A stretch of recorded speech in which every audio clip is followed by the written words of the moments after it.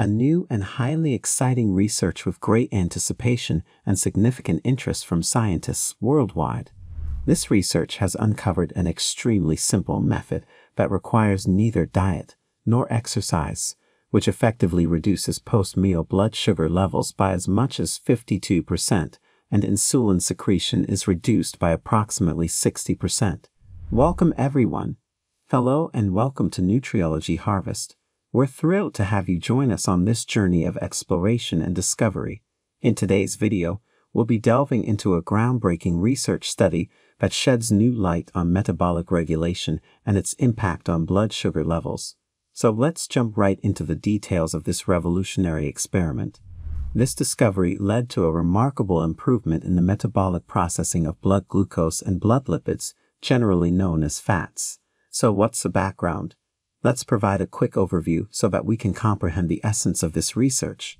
In our body, there is a muscle known as the soleus muscle present in both sides of the calf. It's a small muscle that accounts for only about 1% of the body's mass. This soleus muscle behaves differently in terms of its energy consumption compared to other muscles. It predominantly draws its energy directly from the bloodstream rather than relying on stored glycogen. This means that it mainly relies on glucose from the blood for energy during contraction and relaxation, requiring only a minimal amount of glycogen. The researchers found that by causing this muscle to contract and relax for extended periods without causing fatigue, it could efficiently draw glucose from the blood, resulting in decreased blood glucose levels. This, in turn, reduces the need for a significant insulin response after a meal. The researchers at the University of Houston developed a simple and ingenious method to target this muscle's contraction and relaxation through a subtle movement, resulting in the efficient withdrawal of glucose from the blood. The researchers began by investigating the soleus muscle, a deep calf muscle that is primarily responsible for maintaining posture and stability during standing and walking. They hypothesized that this muscle's unique properties could play a crucial role in regulating blood sugar levels and overall metabolism. To test their hypothesis, the researchers conducted a series of experiments involving participants with different characteristics, such as age, body composition, and activity levels. The goal was to understand how the soleus muscle's activity could impact blood sugar levels and insulin secretion. Experiment setup 1. Participant selection. A diverse group of participants was selected to represent a range of metabolic profiles. This included individuals with varying levels of physical activity, body mass index, BMI, and age. 2. Controlled meals. Participants were provided with standardized meals to ensure consistency in nutrient intake.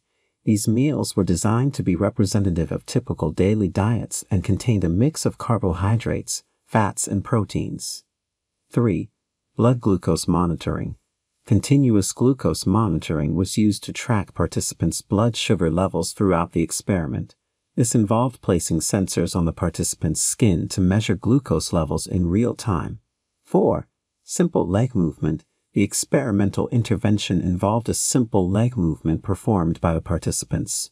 While seated, participants were instructed to lift and lower one leg repeatedly, this movement primarily engaged the soleus muscle. Experimental procedure 1. Baseline measurements. Before the experiment, participants underwent baseline measurements, including blood sugar levels, insulin sensitivity, and metabolic parameters. 2. Post meal movement. After consuming the standardized meal, participants immediately performed the simple leg movement for a specified duration, such as 15 to 30 minutes. 3. Blood sugar response. Researchers monitored participants' blood sugar levels before and after the leg movement. They observed how blood sugar levels changed in response to the movement. 4. Insulin secretion analysis. Insulin secretion levels were also tracked using blood samples. This allowed researchers to determine how the simple leg movement affected insulin release in response to the meal. Key findings 1. Blood sugar reduction. The simple leg movement was found to lead to a significant reduction in post-meal blood sugar levels. This reduction was consistently observed across participants of different profiles. 2.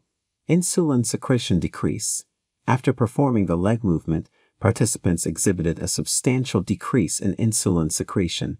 This decrease was particularly prominent in relation to the amount of glucose present in the bloodstream. 3. Implications for metabolism.